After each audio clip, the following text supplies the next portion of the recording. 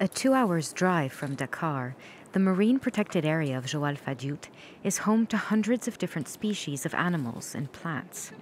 It's a paradise for sea turtles, who pass through it every year on their migration route to Guinea Bissau. For the local fishing community, the reptiles have long been a source of food and income. But an awareness campaign led by local authorities is now encouraging people to protect the endangered species. I'm not just talking about the turtles, I'm talking about the role they play in our ecosystem. If they're no longer there, it can upset the balance and harm fish in particular.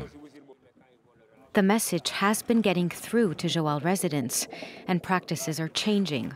These young men have just caught a turtle. They decide to carefully untangle the net and release the animal.